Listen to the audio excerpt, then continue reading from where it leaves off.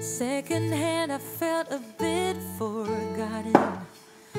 Not your plan, but now the days of silence outgrow the fun things we have done.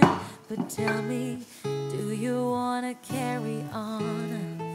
Plans don't.